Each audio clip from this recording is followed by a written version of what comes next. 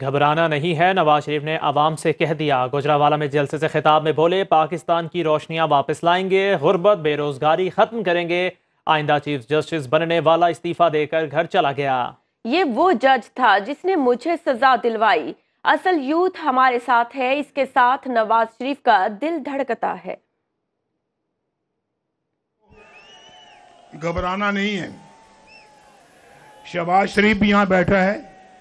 मैं भी आपके सामने खड़ा हूँ, हमारी पार्टी के लोग भी आपके सामने हैं। हम सब उस वक्त तक चैन से नहीं बैठेंगे, जब तक के पाकिस्तान अपने पाओं पर दोबारा खड़ा नहीं हो जाता। दौर याद करो, जब नवाज़ शरीफ वज़ीर आज़म था तो पाकिस्तान में सी पैक आया और पाकिस्तान के अंदर 60 अरब डॉलर की सरमायाकारी हो रही थी। अगर वो दौर रहता और मेरी छुट्टी ना कराई जाती ये जज जो खुद इस्तीफा दे के जा रहे हैं आज, जो आइंदा चीफ जस्टिस बनने वाला जज था, वो छुट, वो इस्तीफा दे के घर चला गया। वो जज था जिसने मुझे सजा दिलवाई। अगर आज हमारी हुकूमत चलती रहती, उस वक्त कोई खलल ना पड़ता, यहाँ मजमे में कोई एक भी आदमी बेरोजगार ना होता आज। कहते हैं कि यूथ हमारे साथ है।